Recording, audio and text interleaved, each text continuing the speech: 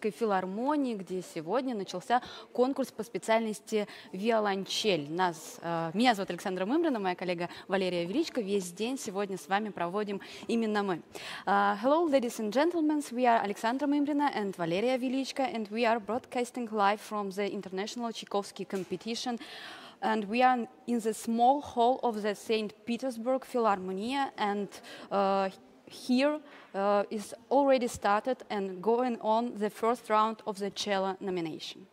Прямо сейчас наши коллеги из Москвы, из Петербурга везут, ведут трансляции по другим специальностям. Из Москвы это скрипка и фортепиано, а из Петербурга присоединились вокалисты.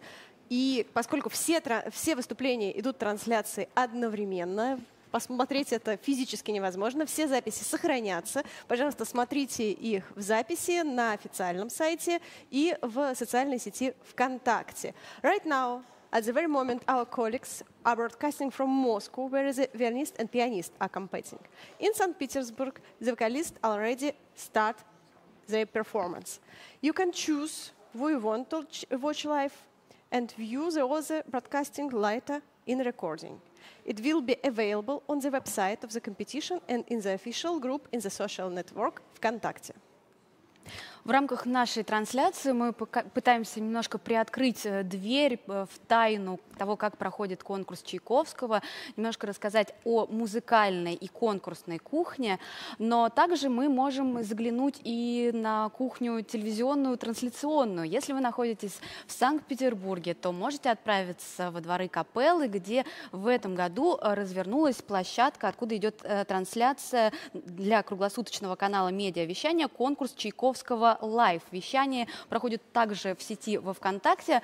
И это нововведение нынешнего года, что можно увидеть на этом канале. Помимо трансляций, там можно также увидеть репортажи со всех концертных площадок, интервью с конкурсантами и членами жюри, сюжеты, посвященные истории конкурса. Вообще, это на самом деле действительно очень интересно увидеть своими глазами, как строится работа трансляции, как много участников задействовано в этой огромной огромной работе, сколько труда, внимания и на самом деле искренней любви к классической музыке во всем этом деле заложено. Поэтому, пожалуйста, если вам будет интересно, приходите, смотрите, как это все делается. Ну а для тех, кто смотрит и следит за нашей трансляцией онлайн, я хочу напомнить, что у вас есть также возможность оставлять комментарии свои прямо в чате трансляции.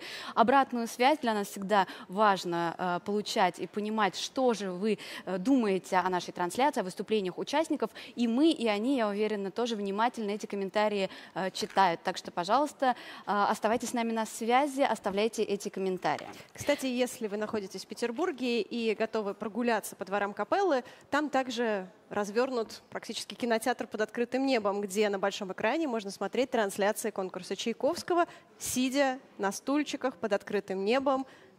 Прекрасную погоду в Петербурге сейчас настоящая жара. К вечеру стало немножко прохладнее, поэтому это совершенно можно комфортно и приятно для себя провести вечер. The Tchaikovsky Live Media Broadcasting Channel is an innovation of current competition. The channel will run for all 10 days of the competition, broadcasting uh, 24 hours a day. What can be seen on it? A live broadcast of performances, reports from all the concert venues, interviews with the musicians and jury members, and stories about the history of the competition. Leave your, leave your comments, encourage our musicians. We and they will certainly read it thoroughly. Предлагаю немножко про конкурс, про состав участников этого, этого года.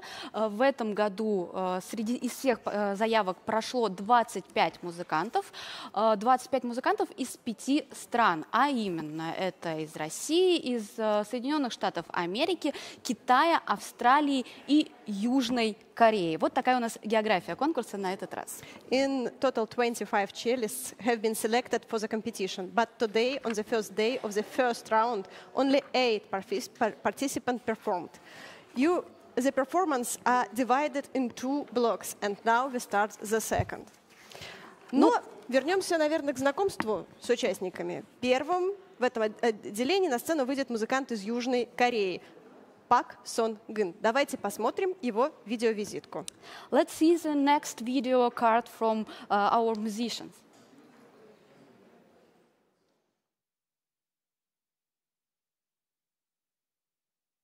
Hello, my name is Sunggun Park.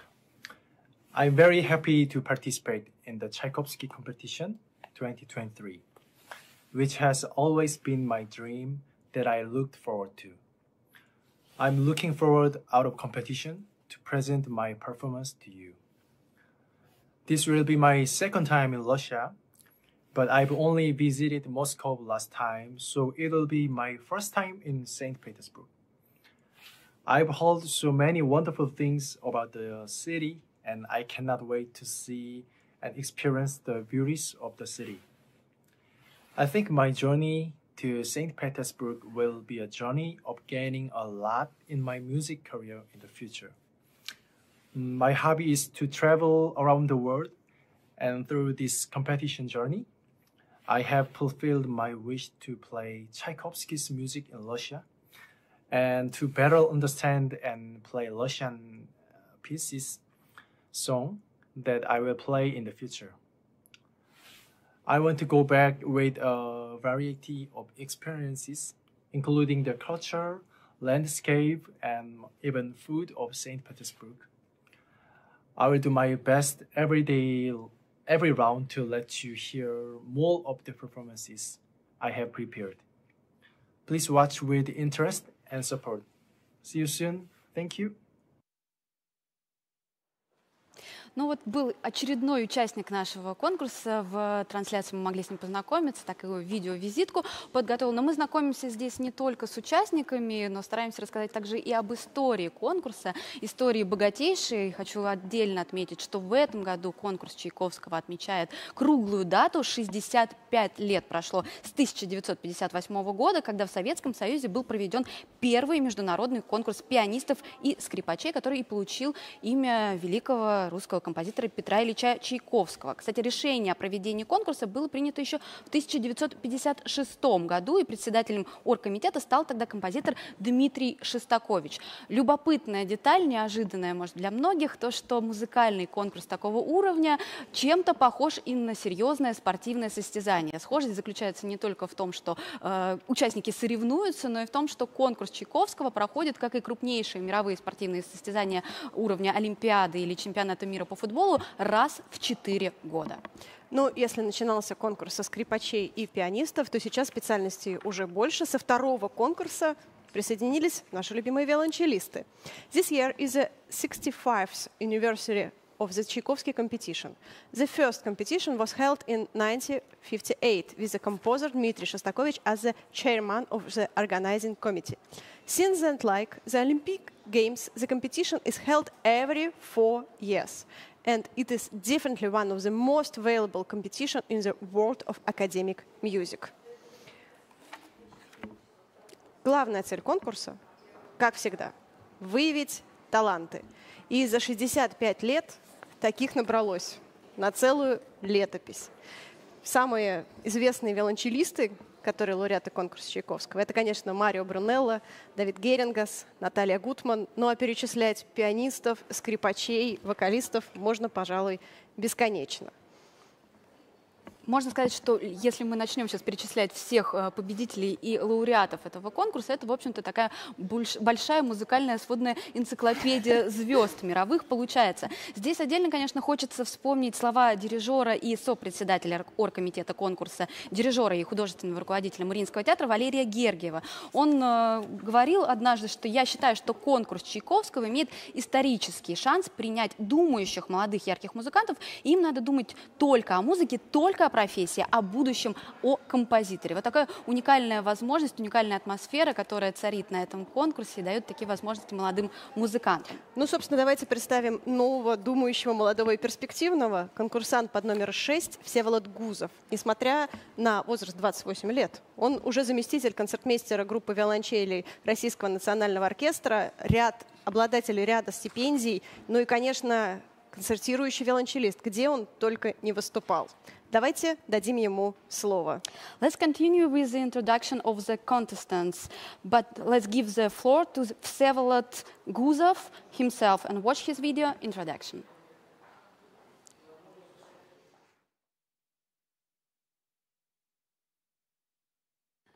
Дорогие друзья, уважаемые слушатели 17-го международного конкурса имени Чайковского, я рад вас всех приветствовать. Меня зовут Всеволод Гузов, и я виолончелист. А, сейчас я нахожусь в концертном зале «Оркестрион», где а, чаще всего я репетирую, где а, проходит моя подготовка к этому конкурсу. Это база Российского национального оркестра, где я работаю. Поэтому здесь замечательная акустика, и мне здесь очень нравится вот так вот по вечерам одному, а иногда и с пианистом, с пианисткой со своей, Ниной Евграфовой, мы здесь репетируем. Такая вот сценка. Я родился в городе Красноярске. В Москве я живу с 2005 года. А здесь я учился в Центральной музыкальной школе, в институте имени Шнитки, а, у профессора Льва Евграфова. А сейчас я заканчиваю первый год а, обучения в Московской консерватории в ассистентуре стажировки у профессора Александра Рудина.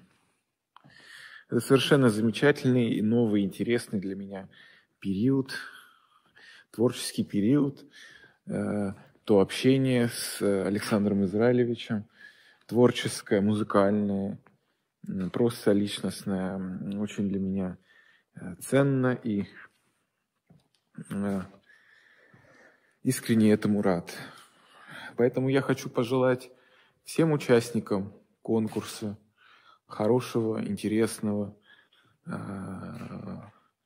искреннего выступления, а всем слушателям – я хочу пожелать хорошего настроения а, и хорошо провести этот летний период времени, а, конкурсный период. А, конкурс будет проходить и в Москве, и в Петербурге. В Санкт-Петербурге это будет период белых ночей, что совершенно замечательно, на мой взгляд. Всем спасибо. До встречи. Спасибо Всеволоду за тур по закулисью. Всегда интересно посмотреть на жизнь музыканта с изнанки, что, как он выступает, как он видит этот мир со сцены. Прежде чем продолжится прослушивание первого тура конкурса имени Чайковского по специальности виолончель. У нас есть еще немножко времени, и мы можем опять-таки обратиться к истории конкурса, который мы буквально чуть-чуть э, уже успели сказать. Мы уже сказали, что первый конкурс прошел э, в 1958 году, ровно 65 лет назад, но задуман конкурс, идея его была намного раньше. В конце э, 30-х годов, точнее в 1939 году появилась идея создания этого конкурса, его хотели провести э, в 40-м год столетия Петра Ильича Чайковского, но по понятным объективным историческим историческим причинам конкурс тогда не состоялся. И надо сказать, что фигура Дмитрия Шостаковича, который просто фигу центральная в начале конкурса, истории конкурса, отнюдь не случайно. Дело в том, что молодой Шостакович был известен не столько как композитор, но и в том числе как блестящий пианист.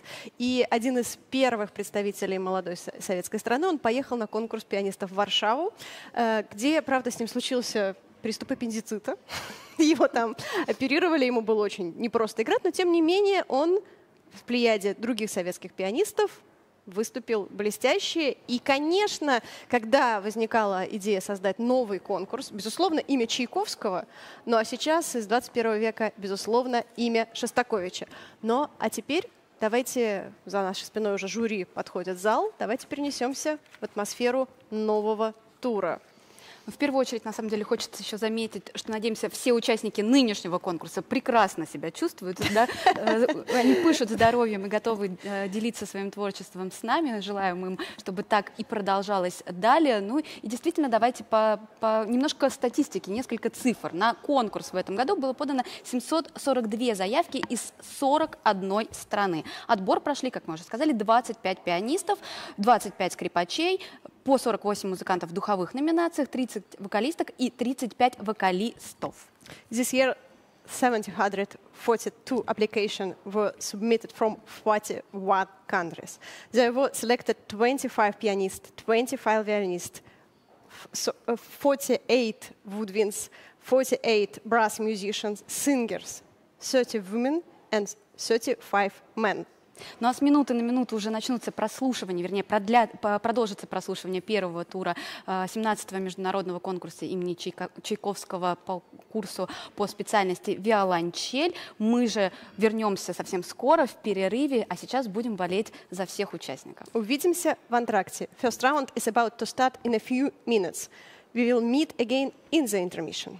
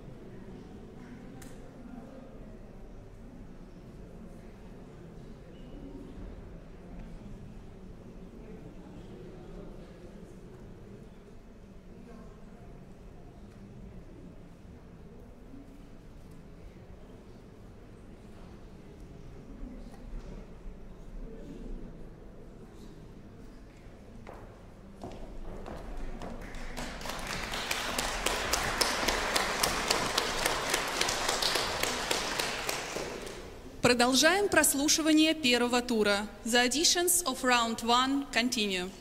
Представляем членов жюри. Please welcome our members of the jury. Солист Московской государственной филармонии, народный артист России Александр Князев, Россия. People's Artist of Russia, soloist of the Moscow Philharmonic Александр Князев, Russia солист Московской государственной филармонии, лауреат второй премии международного конкурса имени Чайковского Александр Рам, Россия. Soloist of the Moscow Philharmonic, silver medalist at the International 15th Tchaikovsky Competition, Alexander Ram, Russia. Заслуженный артист России, профессор Московской консерватории и музыкального училища при Московской консерватории, почетный профессор Пекинской и Шанхайской консерваторий Кирилл Родин, Россия. Honored artist of Russia, professor at the Moskovsky Conservatory at the Music College at the Moskovsky Conservatory, honorary professor at the Beijing and Shanghai Conservatories, Kirill Rodin, Russia заслуженный профессор по классу виолончели и декан кафедры струнных инструментов в Мичиганском государственном университете Сурен Багратуни, США, Армения. Distinguished Professor of Cello and the Chair of String Area at Michigan State University, Suren Bagratuni, USA, Армения. Заслуженный артист Республики Беларусь Владимир Перлин, Беларусь. Honored Artist of the Republic of Belarus Владимир Перлин, Беларусь. Профессор, заведующая кафедрой виолончели и контрабаса отделения оркестровых инструментов Центральной консерватории Пекина Вэнь Ма, Китай. Professor and head of the cello and double bass department at the Beijing Central Conservatory of Music Ma Вэнь, China. Народный артист России Юрий Лаевский, Россия. People's Artist of Russia, Yuri Laevsky, Russia. народный артист России, лауреат государственной премии, профессор Московской консерватории Александр Рудин, Россия, People's Artist of Russia, laureate of the State Prize, professor of the Moskovsky Conservatory Alexander Rudin, Russia, Александр Израилевич сегодня смотрит конкурсные прослушивания онлайн. Alexander today is listening the auditions online народный артист России, профессор Санкт-Петербургской консерватории, художественный руководитель Санкт-Петербургского дома музыки Сергей Ралдугин, Россия. People's Artist of Russia, professor at the St. Petersburg Conservatory, artistic director of the St. Petersburg House of Music, Сергей Ралдугин, Russia. Участник номер пять Пак Сонгин, Южная Корея. Participant number five Пак Сонгин, South Korea. Иоганн Себастьян Бах, прелюдия и сарабанда из сюиты для виолончели соло номер 6, ре мажор. Петр Чайковский, Пеца Капричиоза, сочинение 62. Альфредо Пиатти, каприз си бемоль мажор, сочинение 25, номер 3. Дьорт Лигити, соната для виолончели соло. Johann Sebastian Bach, Prelude and Saraband from Cello Suite number 6 in D major. Петр Чайковский, Pezzo Capricciosa, Opus 62, Alfredo Piatti, Caprice in B-flat major, Opus 25, number 3, Diort Ligeti, Sonata for solo cello. Концертмейстер, аккомпанист Владимир Барановский.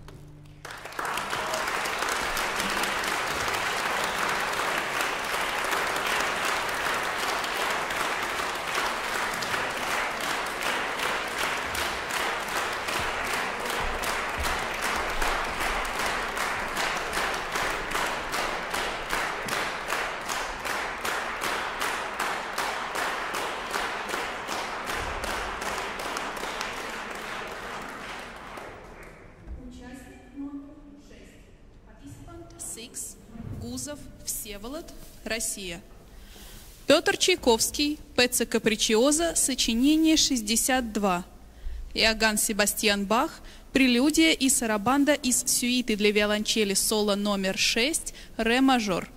Альфредо Пиатти, каприз ля бемоль мажор, сочинение 25, номер 6. Золтан Кодой, соната для виолончели соло си минор, сочинение 8. Петр Чайковский, Пezza Capricciosa, Opus 62. Johann Sebastian Bach, Prelude and Saraband from Cello Suite number 6 in D major. Alfredo Piatti, Caprice in A flat major, Opus 29, 25, number 6. Zoltan Kodai, Sonata for Solo Cello, Opus 8.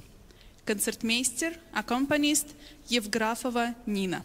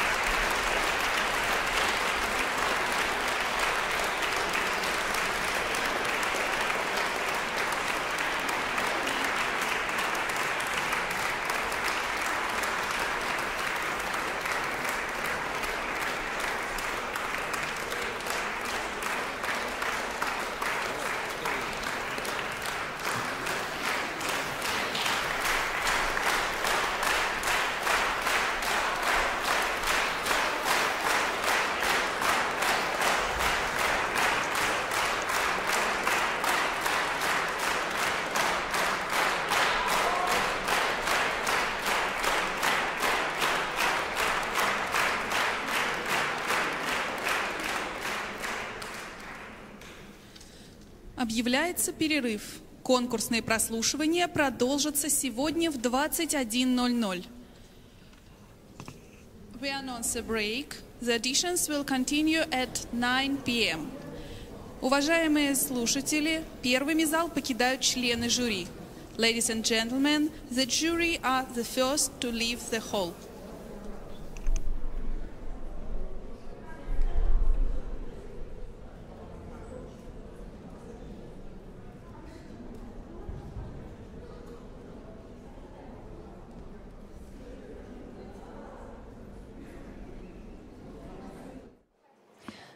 Вечер, дорогие зрители. Я напоминаю, что мы продолжаем транслировать в прямом эфире 17-й международный конкурс имени Петра Ильича Чайковского. Мы находимся в Санкт-Петербурге, в Малом зале филармонии, где продолжается первый тур прослушивания по специальности виолончель. Меня зовут Александра Мымрина, Валерия Величко. Весь день сегодняшней трансляции мы здесь находимся с вами. Uh, hello, ladies and gentlemen. We are Alexandra Mimrina and Valeria Velichka, and we are broadcasting now the 17th International Tchaikovsky Competition, first round of the cello nomination. И прослушивание конкурса Чайковского проходит здесь, в Малом зале Петербургской филармонии с 2015 года – В 2011 году с приходом Валерия Гергиева в оргкомитет конкурса было принято решение разделить прослушивание, разделить соревнования между двумя городами. Теперь конкурс Чайковского проходит не только в Москве, но и в Петербурге. В Малом зале филармонии проходят первые два тура прослушивания виолончелистов, а на третий мы сменим декорации и перенесемся в большой зал Петербургской филармонии, где участники будут играть с оркестром. Auditions of the Tchaikovsky competition have been held at the Philharmonia Small Hall since 2015. In year 2011, when Valery Gergiev joined the competition organizing committee, it was decided that the musicians would be divided between two cities, two disciplines in Moscow and two in St. Petersburg. And since 2015, 15, the cellists have been performing in St. Petersburg. The first two rounds take place in the small hall, and the finals, where musicians will play with the orchestra, will take place in the great hall of the Philharmonia. Как ты думаешь, Удобно ли виолончелистам играть здесь, в малом зале филармонии? Ну, насколько я понимаю, и то, что нам рассказывали уже сегодня гости в нашей импровизированной студии, акустика малого зала филармонии на зависть многим другим залам. Э, этот зал не, не случайно нежно любим э, петербургской публикой, петербургской очень взыскательной музыкальной публикой. В нем приятно слушать и сольные выступления, и выступления камерных ансамблей, и виолончель соло, и виолончель в ансамбле с фортепиано. Ведь когда мы находимся здесь в зале, мы слышим не только прямое звучание инструментов или голосов со сцены, мы также воспринимаем и различные отражения звуковых волн от стен, потолка, пола, от всех предметов, которые находятся в зале. И у малого зала филармонии большой прямоугольный объем, так что звук распространяется в нем ровно и, что называется, полетно. Здесь ничего его не искажает. И слушатели могут сполна наслаждаться тембральным богатством виолончели. Даже несмотря на то, что ровно под залом находится станция метро Невский проспект, и вход в вестибюль в метро также располагается в этом здании, но на качество звука ничто из перечисленных факторов никаким образом не влияет. Ну а самых путливых слушателей мы адресуем к записи эфира сегодняшнего утра, где у нас в гостях была художественный руководитель малого зала Санкт-Петербургской филармонии Ирина Альбертовна Смукул, которая рассказывала, что секрет потрясающей акустики малого зала в том, что в этом зале нет окон.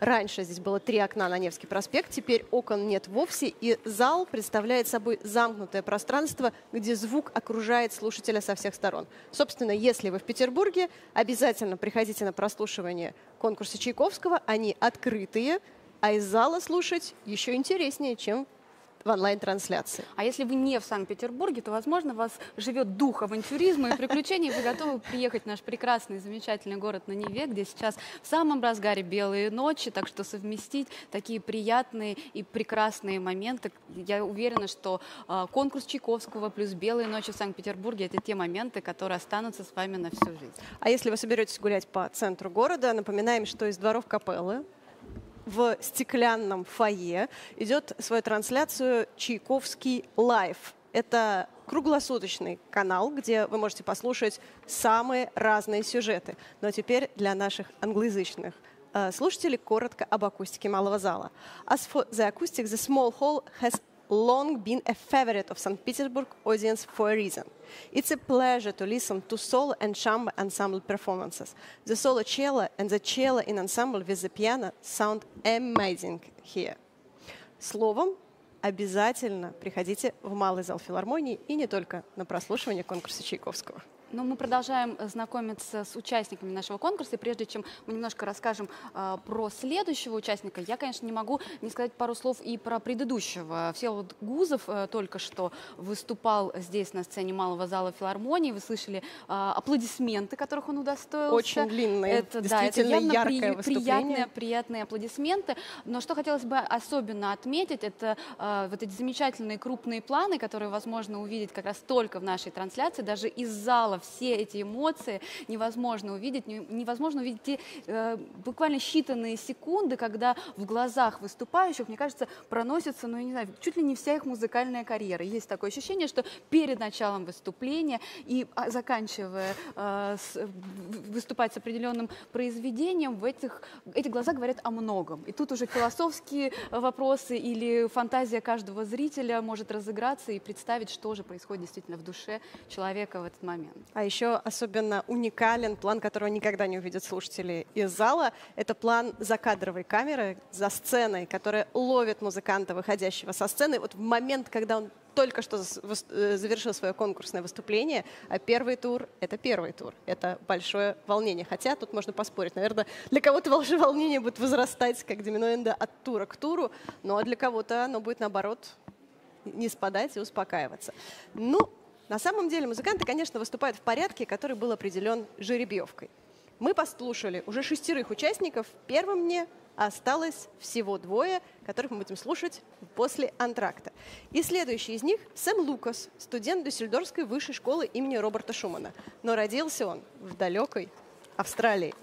И конкурс Чайковского далеко не первый в его послужном списке. Он победитель множества, множества конкурсов. Словом, он прекрасно знает, что такое вот это волнение. Интересно будет спросить его, если мы нам удастся побеседовать с ним, как для него возрожде... э, волнение возрастает от тура к туру или только А возможно, он уже не знает, что такое волнение. Может так быть, привык к э, всем этим соревнованиям, совершенно спокойно выходит в разных городах, в разных точках мира и прекрасно себя чувствует в таких замечательных залах, совершенно без, без какого-либо волнения выступать. Ну, наверное, мы сейчас познакомимся с ним поближе, услышим его рассказ от него же самого. And now it's time to introduce you the next musician of our competition uh, cello, uh, Sam Lucas from Australia.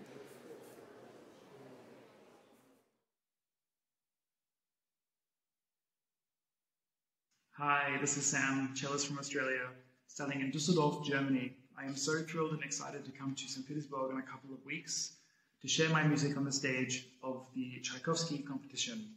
So instead of telling you more about my life as a cellist, I'd like to show you more about my life outside of the cello and my hobbies. Thank you.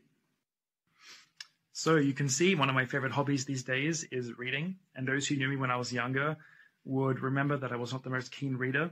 But these days I find it very relaxing, insightful, and enlightening. One of the books that I really enjoy coming back to every now and then is by the philosopher and neuroscientist Sam Harris. It's called Free Will. I highly recommend it. It's about the difference between freedom of will as we know it and determinism.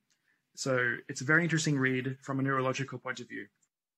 Another book that I really recommend is by Neil deGrasse Tyson called Astrophysics for People in a Hurry.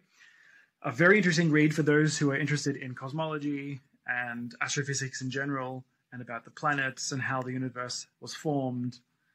Uh, it's very interesting, and I hope you enjoy it if you ever get a chance to read it. And the last book I will show you today is by Con Iggulden called The Gates of Athens. This book is about the Greco-Persian Wars, and specifically in this book, it is about the Battle of Marathon and Thermopylae, with uh, King Leonidas of Sparta and Themistocles and other important generals and statesmen of uh, Athens and Sparta. Very interesting if you're into ancient history. So enjoy. So I'm here on the Rhine in Dusseldorf going for a run, which is another one of my hobbies, along with other kinds of sports, which I will show you in a moment. Uh, currently, I'm with my friend Matthias. who is also a cellist, and we're training towards a marathon in Athens at the end of the year. So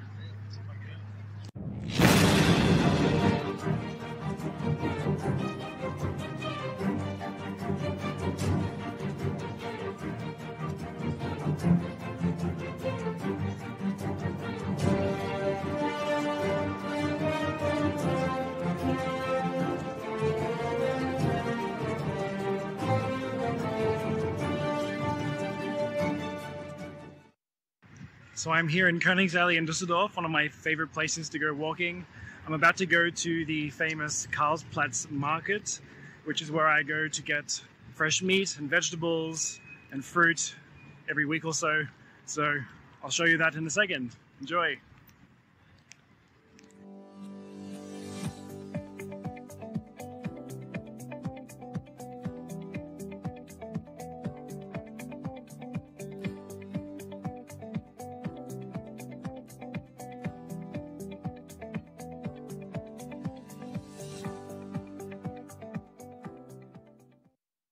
So that was just a small glimpse into my life outside of the cello. Other hobbies would include playing chess, although I'm not very good, uh, cycling, and I have a real love for movies and going to the movie theater with friends. I'm very much looking forward to playing for you in St. Petersburg soon and see you there. Среди членов жюри конкурса Чайковского традиционно немало лауреатов этого состязания. Сейчас нашим гостем будет один из самых молодых и обаятельных членов жюри, лауреат второй премии 14-го конкурса Alexander Ram. Traditionally, there are many prize winners of the Tchaikovsky competition amongst the jury. Our guest now is one of the youngest member of jury, second prize winner at the 40th Tchaikovsky competition, Alexander Ram. Александр. Здравствуйте, Александр. Здравствуйте. Спасибо, Здравствуйте. что вы пришли к нам сюда, с нами немножко пообщаться, не только э, несете свою очень важную роль э, члена жюри и все время посвящаете только тому, чтобы э, судить участников. Для вас и этот зал, и конкурс Чайковского, в принципе, это не пустые слова, не пустые места отнюдь. Берем 2015 год, здесь в Малом зале филармонии, который тогда впервые участвовал в конкурсе Чайковского. Вы выступали, вы тогда стали лауреатом того конкурса. Сейчас год 2023. Вчера в Москве вы открывали торжественную э, церемонию открытия нынешнего конкурса Чайковского. Сейчас вы уже в Петербурге и уже, э, собственно, работаете э, в, в коллегии жюри. Вот столько всего изменилось за эти прошедшие годы. Если в 2015 году, вы потом рассказывали в интервью, что, э, выходя в финале конкурса, хотелось принять яду, Было вот, то что изменилось э, вот с точки зрения внутренних переживаний и эмоций с тех пор? В 2023 году, приходя сюда, видя, как выступают другие, э, что вам хочется принять или не принять, какие мысли вас посещают? Ну, э, начнем с того, что участвовал я в конкурсе Чайковского не единожды, а еще в 2007 году и в 2011 году, и только вот в 2015 году успешно, так скажем. Вот. Что касается, а, какие чувства у меня вызывает, достаточно смешанные, я должен сказать, потому что э, для меня этот зал э, и эта атмосфера, и даже вот эта вот э, световая инсталляция навевает воспоминания восьмилетней давности. И за 8 лет, казалось бы, это было недавно, но на самом деле за 8 лет много воды утекло, много, много чего изменилось, много сыграно потрясающих, интересных концертов. Но все-таки еще совсем недавно я был по ту сторону баррикад, и я прекрасно понимаю, что сейчас испытывают конкурсанты. И э, я мысленно каждому из них, э, когда они выходят на сцену, я им желаю даже не удачи, а успеха. И выдержать эм, этот нечеловеческий накал не- не нервов, потому что первый тур самый-самый сложный в этом отношении. То есть эм, э, проверка именно на прочность, м, потому что много обязательной программы, много сольной программы, практически голые на сцене, э, ну вот образно говоря, да.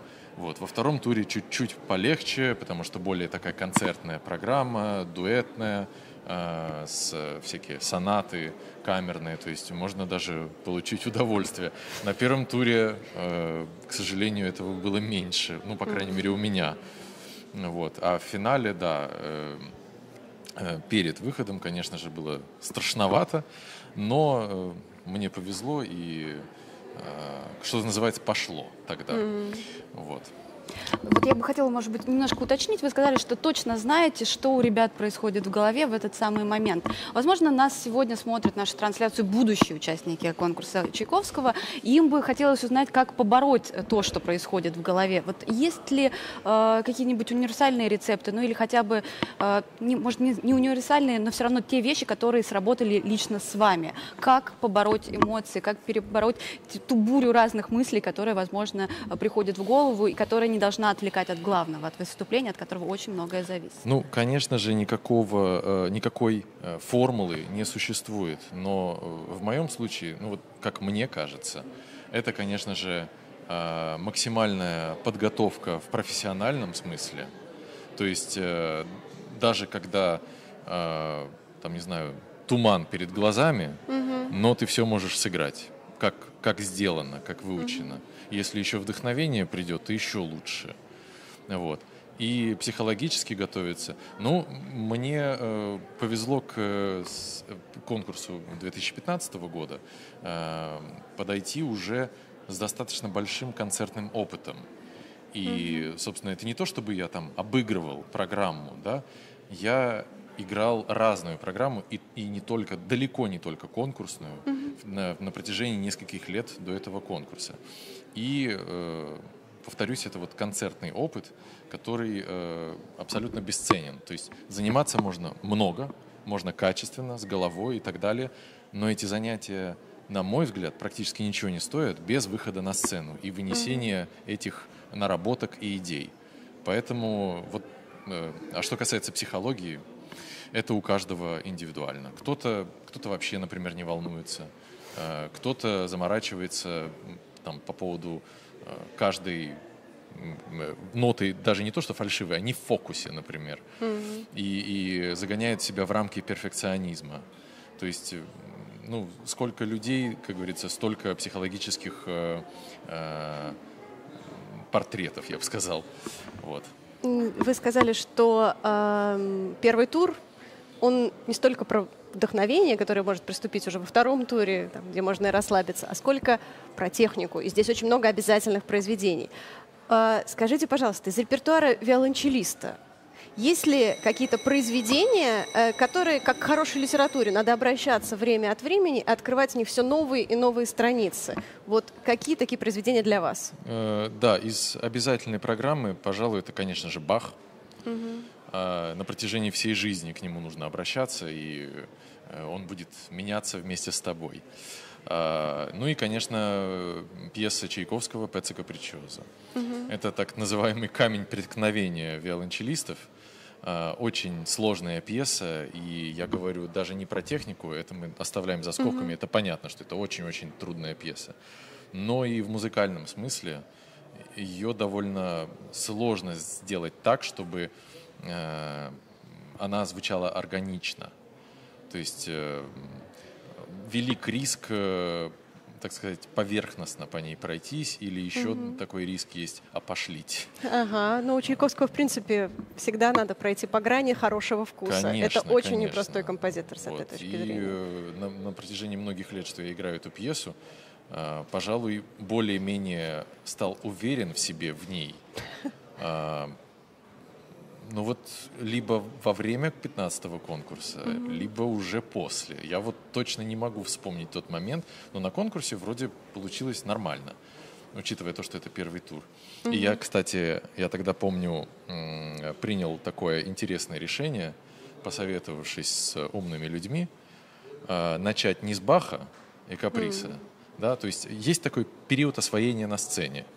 Даже опытный концертный музыкант – Э, хорошо готовый технически, психологически и так далее, все равно минутку, полторы-две осваивается на сцене. Вот там просто происходит такая вот метафизическое такое вот состояние, которое в лабораторных условиях не создать. Угу. То есть к этому привыкнуть нельзя.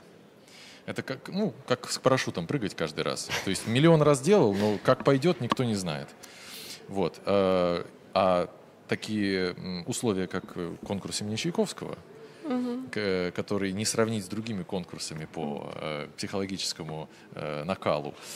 Вот. Э, это еще больше добавляет таких вот проблем. Поэтому я принял решение начать как раз-таки с Чайковского угу. чтобы побыстрее освоиться на сцене. Так что, наверное, к тому моменту я уже чувствовал себя уверенно в этой пьесе. Вот мы уже знаем теперь немножко кухню того, как вы выходили на сцену в качестве конкурсанта. Хочется теперь немножко заглянуть на кухню уже как э, члена жюри. Я понимаю, что все, всего вы рассказать нам не можете, да. но хотя бы в общих чертах, на что вы в первую очередь обращаете внимание, что для вас является определяющим критерием? Э, техническая безупречность или тут вы готовы какие-то вещи, какие-то нюансы списать на нервы, списать писать конечно, на первый тур. Конечно. Что тогда важнее? А, важнее, чтобы э, человек увлекал своей игрой. И mm-hmm. в таком случае, если санитарная норма не превышена, да, определенная, в смысле там э, технических огрехов, то э, я с удовольствием их прощу. Mm-hmm. Если же человек играет максимально аккуратно, но максимально не вовлечен, то есть меня не вовлекает, то любые огрехи, а они все равно случаются, мы не роботы, они запоминаются. Угу. Вот и все. То есть самое главное, подытоживая, если человек играет интересно, ему можно многое простить. Но не все. Даже на конкурсе музыка остается магией, которая Именно так. Должна... Я, я сам, э, вот, ну, про первый тур мы уже поговорили, но начиная со второго тура, я просто старался играть как на концерте mm-hmm. и получать удовольствие, и постараться подарить удовольствие слушателям. И если это понравится и жюри, то замечательно. Угу. А так э, от меня не зависит. Э, жюри решает, а я играю. Если без конкретных имен, но эта магия сегодня уже здесь была в этом зале, случалось? Конечно, конечно. А, короткий вопрос. Как вы думаете, почему Чайковский назвал свои вариации на тему рококо именно так? Mm, ну, э, неожиданный вопрос.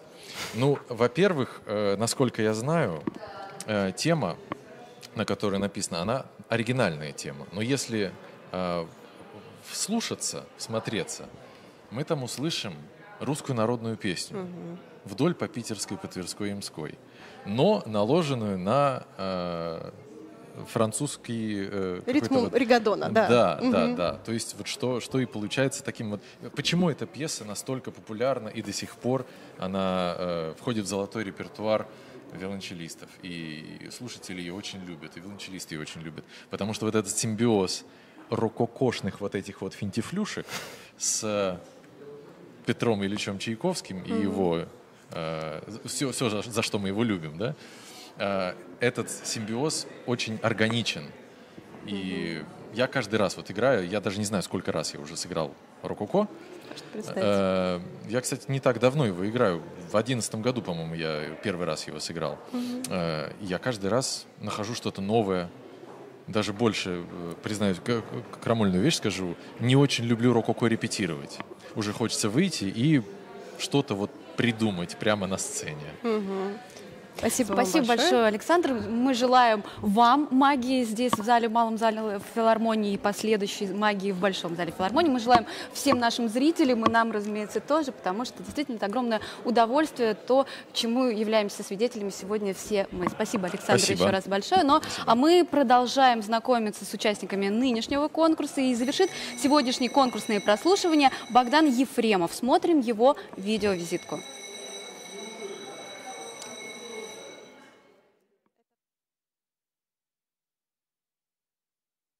Меня зовут Богдан Ефремов, я виолончелист и студент колледжа имени Гнесиных.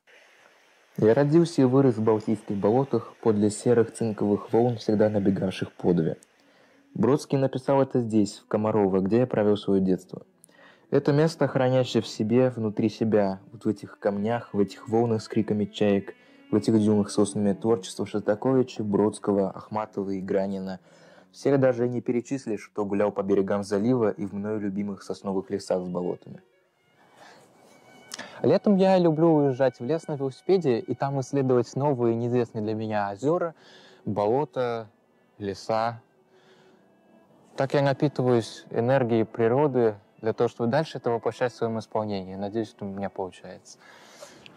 Виолончель я выбрал рано. С двух лет я захотел играть, с четырех уже начал заниматься. В своей первой музыкальной школе отучился 10 лет. Здесь же я в первый раз вышел на сцену И отсюда я ездил на свои первые музыкальные конкурсы. Когда мне было 9 лет, я ходил на все прослушивания конкурса Чайковского, и когда приходил домой, сразу бежал играть все, что там слышал. После следующего конкурса Чайковского я уже четко знал, что буду в нем принимать участие. Переехал в Москву учиться, и там мне повезло попасть в класс замечательного педагога Игоря Николаевича Зимина. Он открывает мне совершенно новые глубины музыкального и художественного мира, который является фундаментом русской музыкальной школы. Я очень рад, что могу принять участие в конкурсе Чайковского в 2023 году. Конечно, не устаю удивляться, насколько разнообразным бывает жанр видео-визитки. Кажется, простая история за э, несколько минут рассказать про себя, но насколько творчески и по-разному подходят э, наши конкурсанты, насколько это отображает их индивидуальность. Вот мы уже были и в библиотеках, и в концертных залах, и, э, можно сказать, знакомились с домашними питомцами. В общем, это действительно очень интересный э, такой момент, такое окошечко, в который, через которое мы можем заглянуть немножко в жизнь наших конкурсантов за пределами пределами конкурса, за пределами концертной сцены. Ну а сейчас с минуты на минуту уже начнется прослушивание, жюри идет в зал, публика тоже подтягивается. И интересно, что сегодня среди слушателей довольно много молодых лиц много студентов консерватории, которые пришли послушать. Я помню, когда сама была студенткой консерватории, мы не пропускали конкурс Чайковского, проскальзывали из зала в зал, стараясь объять невозможное, услышать абсолютно все прослушивания, которые проходят в нашем Прекрасно, городе. что остается такая традиция у нынешних поколений. Пускай эта традиция будет долгой и счастливой, потому что действительно то, э, сколько можно опыта, сколько впечатлений, э, переживаний за дни конкурса э, здесь себя впитать, это дорогого стоит, даже если вы не выходите на сцену, но в зале можно тоже, наверное, людям эмпатичным подключиться да, к выступающим и очень многое прочувствовать. In a few minutes, the audition of the first day will continue. In the intermission, we will try to take the interviews with the jury members. There are a lot of conservatory students in the hall and they came to support the colleagues. Ну и буквально считанные секунды остаются до начала э, следующего этапа прослушивания, который завершит первый конкурсный день э, конкурса Петра Ильича Чайковского по специальности виолончель здесь, в Санкт-Петербурге, в малом э, зале филармонии. Так что все внимание наше устремляется на сцену. Let's see. And uh, see, let's see the last uh, musician. part of the first round of the competition of Tchaikovsky uh, in cello spe specialty.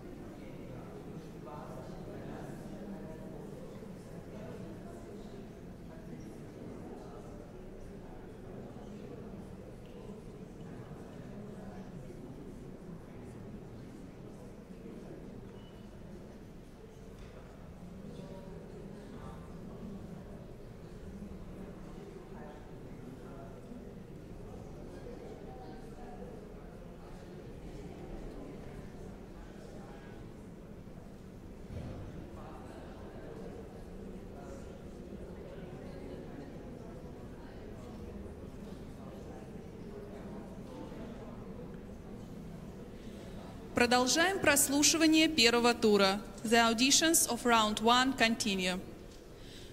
Участник номер семь Лукас Сэм, Австралия. Participant number seven Лукас Сэм, Australia. Людвиг ван Бетховен, соната для виолончели и фортепиано номер 5, ре мажор, сочинение 102, номер 2. Петр Чайковский, Пеца Капричиоза, сочинение 62. Альфредо Пиатти, Каприз си бемоль мажор, сочинение 25, номер 3. Миклош Рожа, Такката Капричиоза. Иоганн Себастьян Бах, Прелюдия и сарабанда из сюиты для виолончели соло номер 5 до минор. Людвиг ван Бетховен, Cello Sonata number 5 in D major, opus 102 number 2. Петр Чайковский, Пеца Капричоза, opus 62. Alfredo Piatti, Caprice in B flat major, opus 25 number 3. Miklos Raja, Toccata Capricciosa. Johann Sebastian Bach, Prelude and Saraband from Cello Suite number 5 in C minor. Концертмейстер Андрей Бароненко.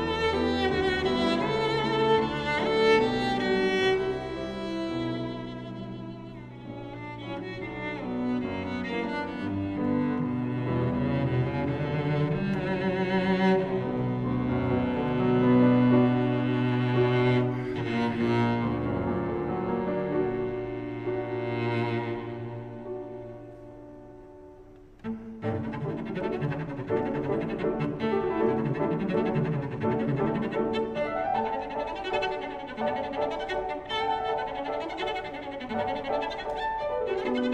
you.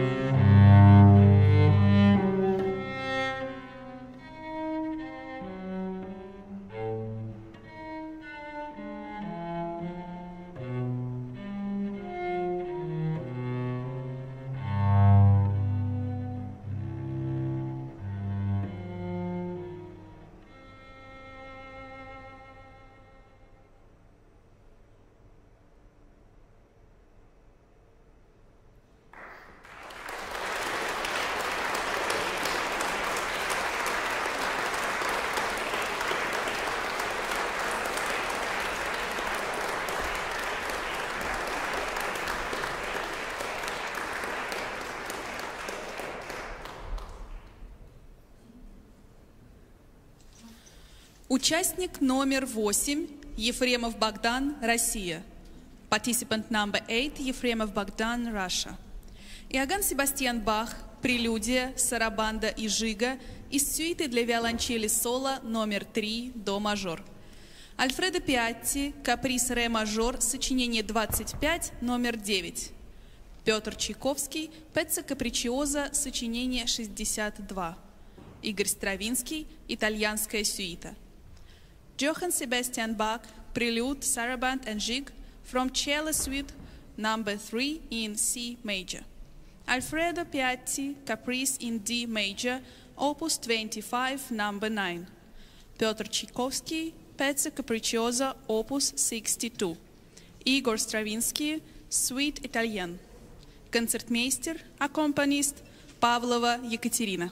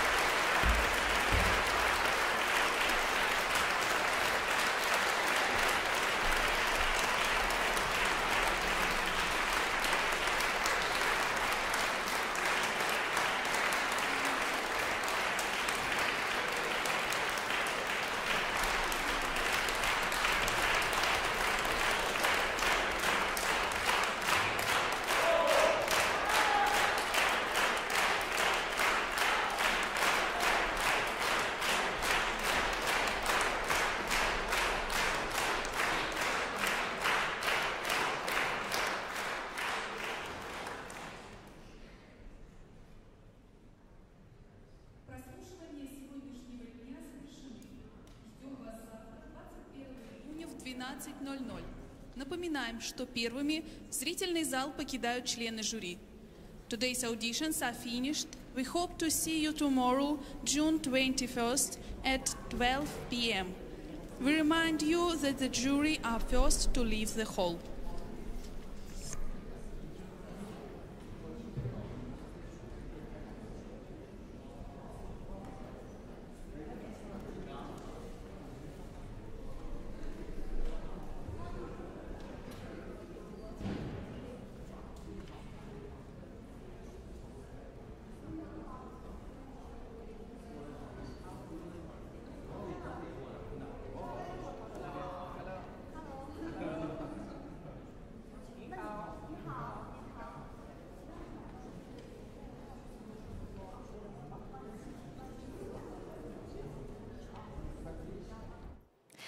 Что ж, дорогие зрители, вот и подошел к концу первый день прослушиваний по специальности виолончель на международном конкурсе имени Петра Ильича Чайковского.